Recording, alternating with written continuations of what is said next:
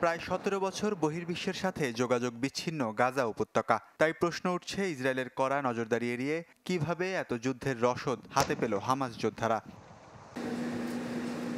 এমন হাজারো বিতর্কের মাঝে মুখ খুলেছেন হামাসের জ্যেষ্ঠ নেতা আলী বারাকা। জানান, গেল দুই বছরে গাজায় তারা গড়ে তুলেছেন অস্ত্র তৈরির কারখানা। স্থানীয়ভাবে এখন শক্তিশালী সব অস্ত্র তৈরির সক্ষমতা আছে তাদের।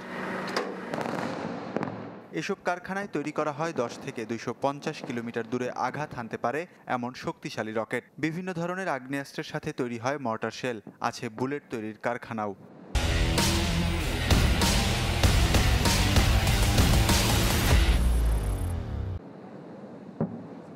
গণমাধ্যমে দেওয়া বক্তব্যে মিত্রদের সহায়তার বিষয়টিও পরিষ্কার করেন এই গেরিলা নেতা। সাফ জানান ইরান ও হিজবুল্লাহ দিচ্ছে অর্থ আর অস্ত্র সহায়তা। সংঘাতের পর থেকে খোঁজ খবর রাখছে মস্কো। এদিকে হামাস মিত্রদের শাসিয়ে যাচ্ছে যুক্তরাষ্ট্র।